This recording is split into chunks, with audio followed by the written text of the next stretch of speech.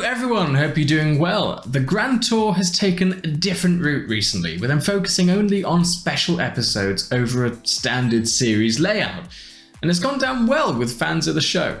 Viewers have seen more of a focus on travel, giving presenters Jeremy Clarkson, James May, and Richard Hammond the freedom to do just about whatever they want, even swapping cars for boats in one special, for example.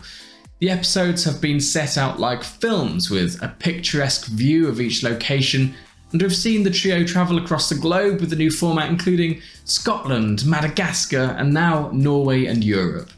With this change, though, we lost things like the tent, and the audience, and the news segment.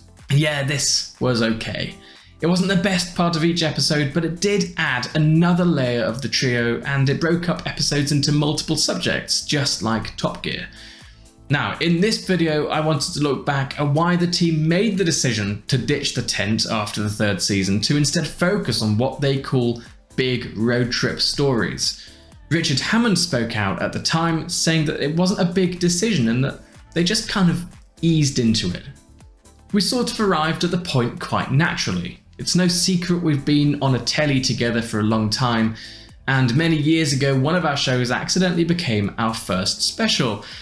The film we made was too big to fit into the show. So we thought, alright, well, we don't do the studio and other stuff, we'll just do the big event, and then it's grown from there year by year. Then we came to Amazon, and there's no secret about it, it's a well funded show. We could go further on those adventures and do more. Amazon, of course, can also plug into finding out exactly what people like and respond to, which is great to know because we want to deliver the show that people want.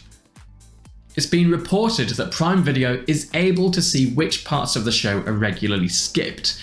So they were able to see what viewers weren't as bothered by, which was the tent segments. Hammond went on to say, It turns out that the viewers' favourite bits are also our favourite bits, namely when the three of us just pack up and go somewhere incredible and do something ridiculously incredible, exciting, dangerous, somewhere amazing. I think we would be fools not to do more of that. I'm sure if anybody should be given the same opportunity, that's what they'd do. The latest special, The Grand Tour, a Scandi flick, has proven to be a hit with fans, and viewers are already eagerly waiting for the release date of the next one, which has just been filmed in Eastern Europe.